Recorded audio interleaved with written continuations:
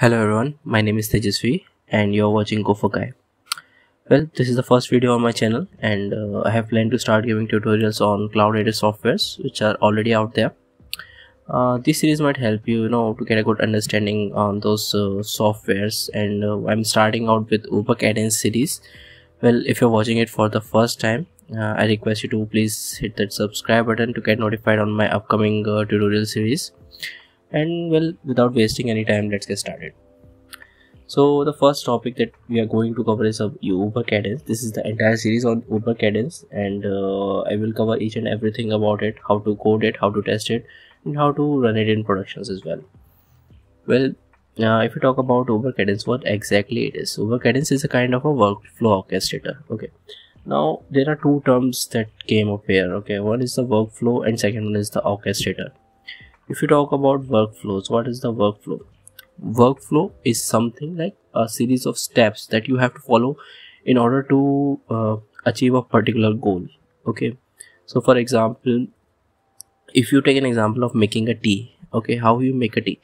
You use you know water you mix uh, tea uh, leaves into it and then you add milk to it if required and then you add to sugar and then you know heat it on the um, on the stove for a specific time and then at the end you just you know filter out those leaves and get the final result at the so all these steps you can uh, call it as a workflow. And if you talk about an orchestrator okay orchestration is something like all the bits and pieces that are working together in order to achieve a specific result. Just similar in the case of music okay. When we compose a music there are different bits and pieces of it. Like one person is singing another one is uh, doing the drums the other one is playing the guitar and all of them are in sync so that they can achieve a specific result. Okay. That's what an orchestrator is. And if you talk about this uber cadence it orchestrates those workflows. Okay. So uh, for further you know understanding it let me just uh, you know uh, show you this uh, specific uh, slide for that a use case uh, so you can understand it better. Okay. So the first and the foremost scenario is when you are when you you know hired a cab to get somewhere and you are giving a tip to a driver right? How you are you know if you write a program about it how you are going to execute it. So it can be a single simple function right? It can be a simple function where you have to perform tip operation okay? How this tip operation may go?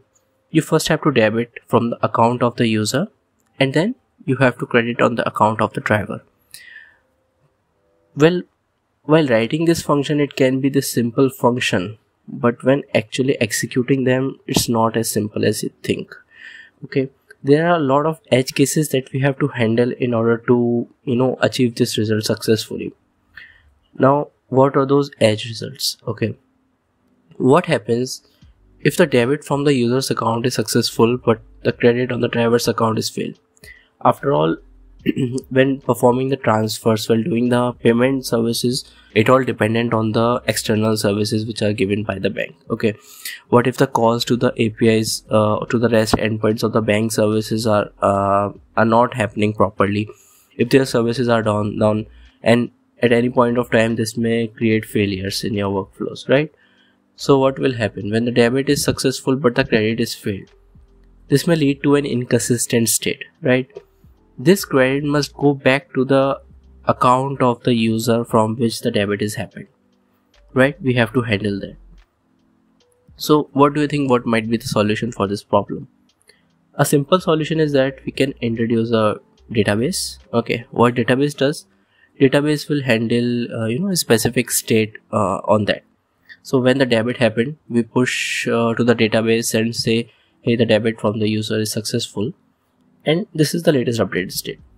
And when we are going to do the credit we can push the same thing to the database as well and uh, you know we can say that the credit is successful or failed and accordingly we can you know perform the edge cases.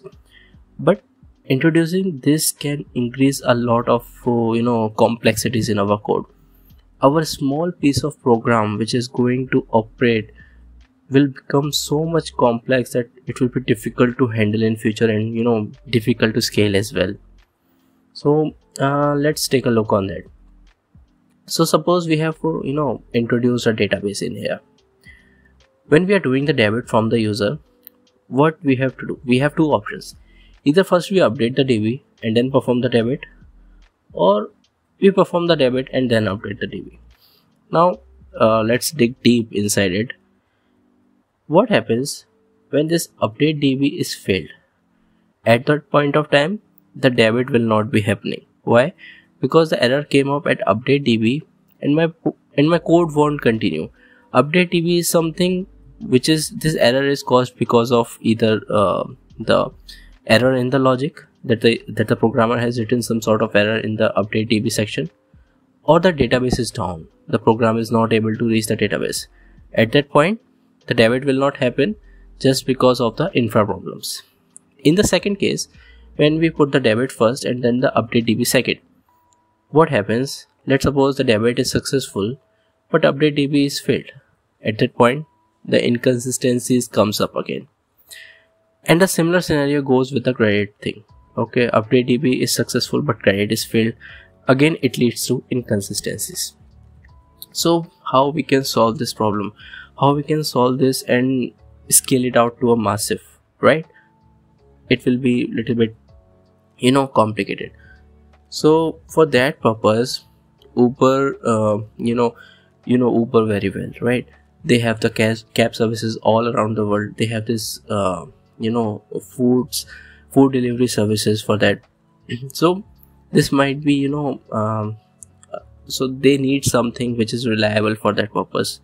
Okay so what they have built they have built this tool called cadence. Okay what cadence does actually cadence makes sure that the function that you are writing actually runs. Okay so uh, if we take a look on this function you can see that we have this perform tip operation right cadence will make sure that the debit user happens okay? It should not fail anyhow. And it will also make sure that after debit user is successful credit driver will also happen okay? So what happens when we do this? When i mean if we uh, you know uh, take a software take a help of a software which can manage all these complexities separately we can you know definitely focus on the business logic that we are going to handle and uh, it will be quite you know easy to write those business logic uh, just you know ignoring the edge cases that will be handled by the cadence itself. So that's the purpose. Now how cadence works actually it doesn't understand the function directly okay? A function suppose the tip operation it will be called as a workflow which contains a series of steps that are going to execute it. Okay so tip operation workflow it's a workflow. The and whatever the individual functions that we are calling in between like the debiting the user and creating the driver? These functions will be known as the activities individual activities okay? So debit user activity and credit driver activity. Each activity has the specific uh, you know uh, variables and uh, constants that we can modify in order to achieve a successful result. Like we can do that if the activity is not successful for example if the debiting is not happening within a certain limit then you have to retry okay?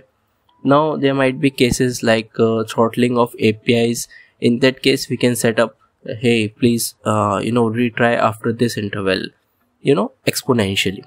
So um, this uber cadence is a, a lot helpful tool and you know it is so good that it can run on a production on a mass in production on a massive scale so uh, further upcoming in the in this series i will be explaining about the workflows activities how to code them how to test them. And specifically i will be telling in golang but the apis are quite good the sdks are quite good and you can explore it in other languages as well. Right now golang is supported and java is supported but uh, they are actively developing for python and uh, other languages as well. So that is it for this video. Uh, we will uh, you know meet in the next one. Thank you so much